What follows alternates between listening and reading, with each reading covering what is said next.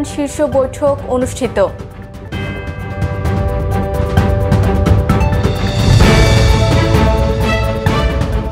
বাংলাদেশের অর্জন বিএনপির সহ্য হয় না বলেছেন ওবায়দুল কাদের।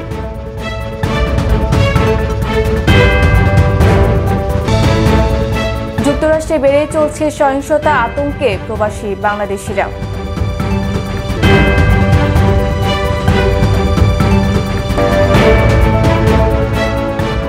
রাতে পর্তুগালের প্রতিপক্ষ আজারবাইজান।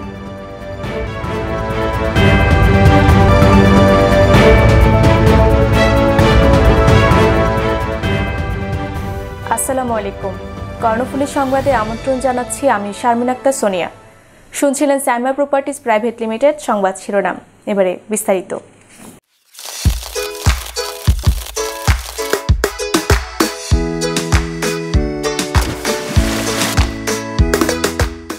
সাইমা সুপার শপ, সাশ্রয়ী মূল্যে সর্বোত্তম পণ্য।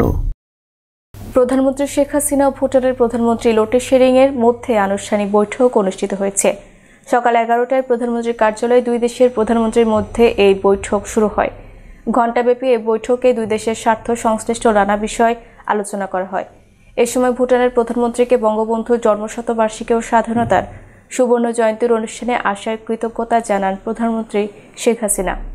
এদিকে বিকেলে জাতীয় প্যারেড গ্রাউন্ডে বঙ্গবন্ধুর জন্মশতবার্ষিকী এবং স্বাধীনতার সুবর্ণ জয়ন্তীর অনুষ্ঠানে বিশেষ অতিথি হিসেবে যোগ দিবেন ভুটানের প্রধানমন্ত্রী লোটে শেরিং আওয়ামী লীগের সাধারণ সম্পাদক ওবায়দুল কাদের বললেন, বাংলাদেশের অর্জন বিএনপি সহ্য করতে পারে না।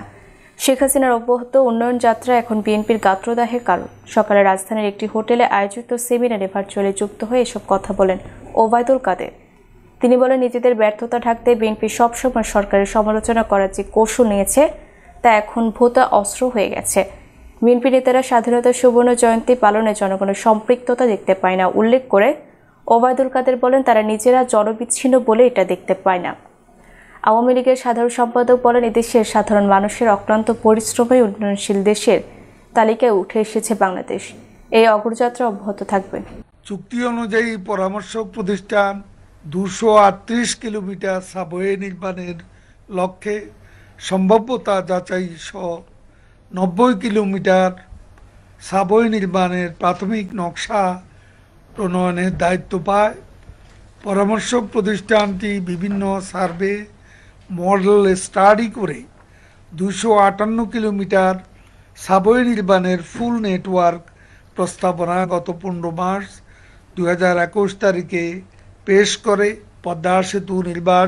ইতিমধ্যে একচল্লিশটি স্পেনের সব কয়টি সফলভাবে স্থাপন করা হয়েছে। রেলওয়ে সড়ক পথে স্ল্যাব বসানোর কাজও দ্রুত গতিতে এগিয়ে চলছে। মূল সেতু নির্মাণ কাজের অগ্রগতি শতকরা বিরানব্বই দশমিক পাঁচ শূন্য ভাগ। নদী শাসন কাজের অগ্রগতি শতকরা আশি ভাগ। প্রকল্পের সার্বিক অগ্রগতি শতকরা চুরাশি দশমিক পাঁচ শূন্য ভাগ।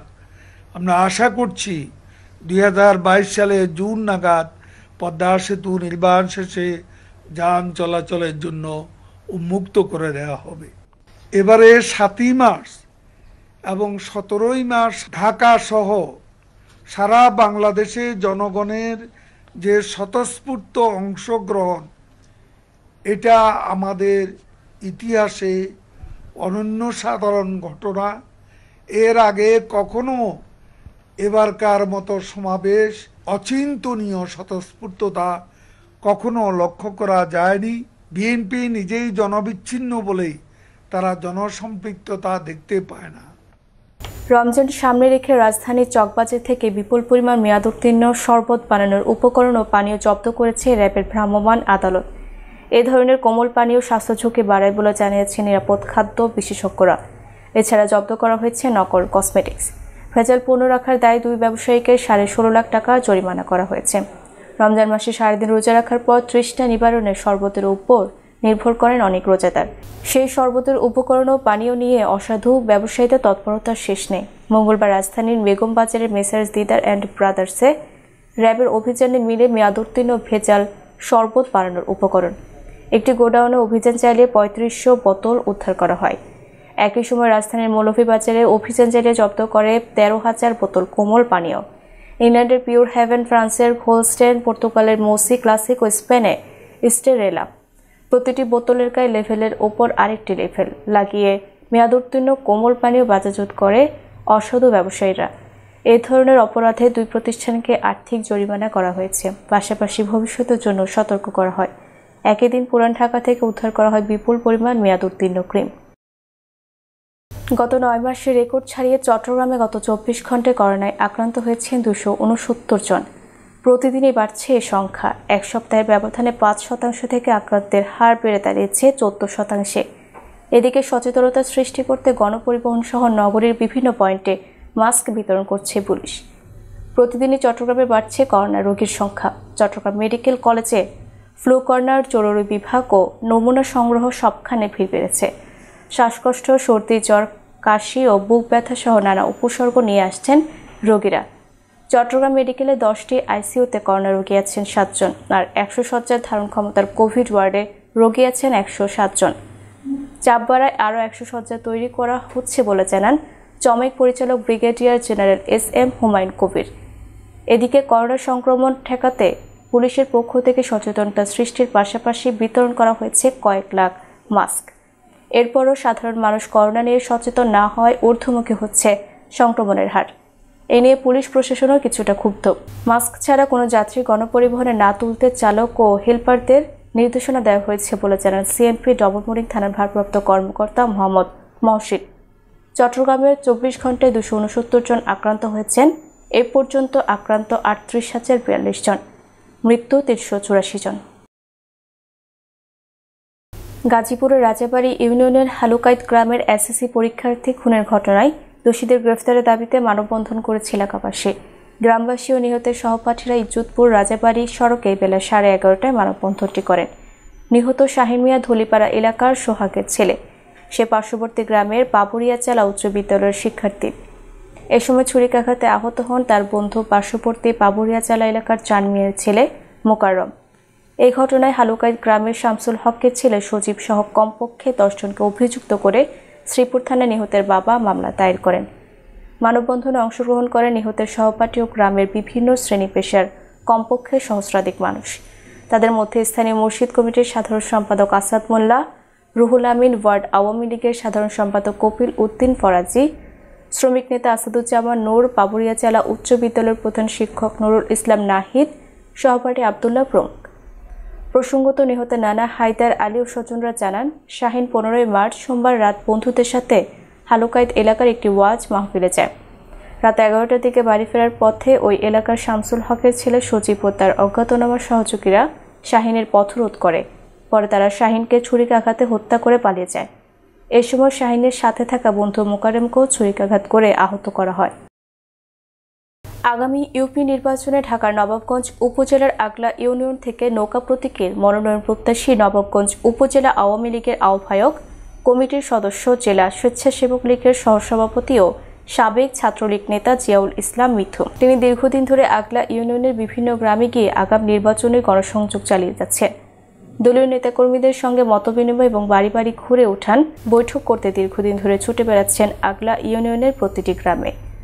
করোনা ভাইরাসের কারণে লকডাউন চলাকালীন সময় জিয়াউল ইসলাম মৃত্যু অসহায় দরিদ্র পরিবারের মাঝে ত্রাণ বিতরণ করা সহ প্রতিনিয়ত এলাকাবাসীর খোঁজ খবর রেখেছেন। তিনি চেয়ারম্যান নির্বাচিত হলে আগনা ইউনিয়নকে একটি মডেল ইউনিয়নে রূপান্তর করার ইচ্ছে এবং রাস্তাঘাটের উন্নয়ন, মাদক সন্ত্রাস ও দুর্নীতির বিরুদ্ধে কাজ করবেন। ছবি ছবি ছবি দেখতে কোনো সময় ছবি দেখছে না। ছবি দেখছে না। ওই যে গাজীপুরে কোভিড উনিশের দ্বিতীয় ঢেউ বাড়ছে সংক্রমণের হার। তারপরও মাস্ক পরতে চরম উদাসীন অধিকাংশ মানুষ। মানছেন না সামাজিক দূরত্ব।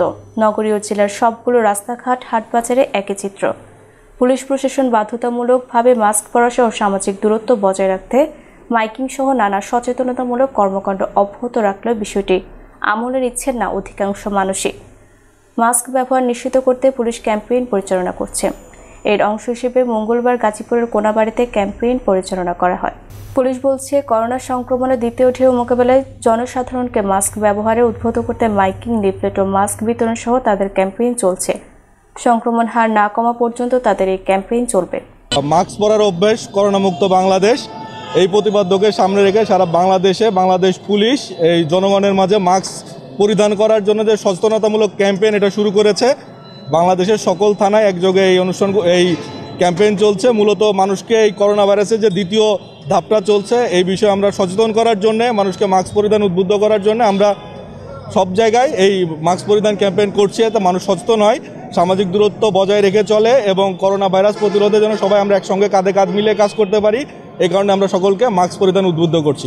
আমাদের সঙ্গে কিন্তু জনসাধারণ রয়েছে, জনপ্রতিনিধি রয়েছে, ঢাকা বিশ্ববিদ্যালয়ের শিক্ষার্থীরা রয়েছে এবং এটা চলবে যতদিন এই সংক্রমণের হার কমের দিকে না আসে, ততদিন এটা চলবে। পরবর্তীতে এটা পরবর্তী নির্দেশনা না আসা পর্যন্ত এটা চলতে থাকবে।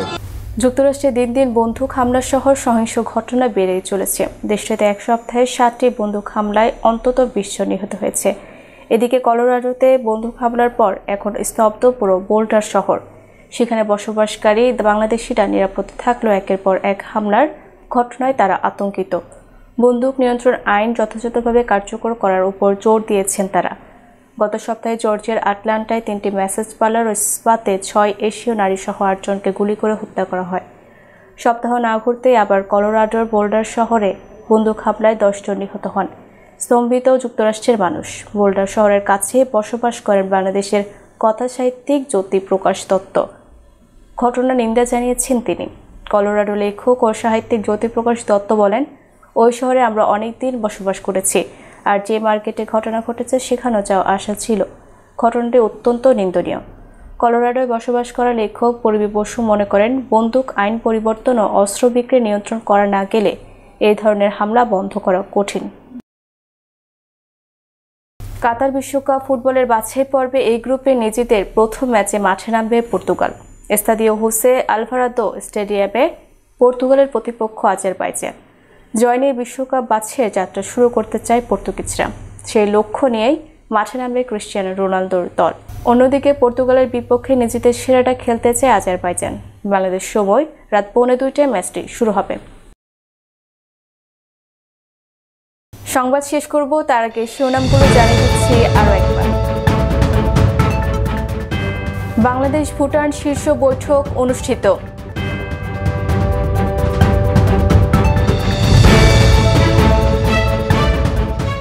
বাংলাদেশের অর্জন বিএনপির সহ্য হয় না বলেছেন ওবায়দুল কাদের।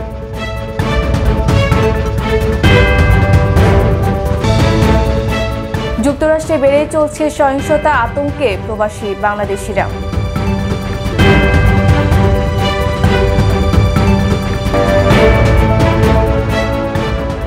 রাতে পর্তুগালের প্রতিপক্ষ আজারবাইজান।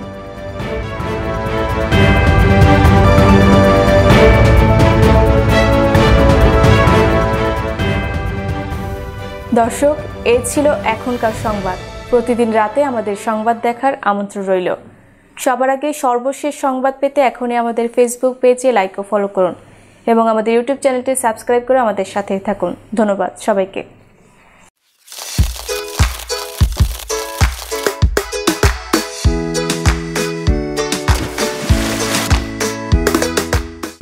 Saima super shop. সাশ্রয়ী মূল্যে সর্বোত্তম পণ্য।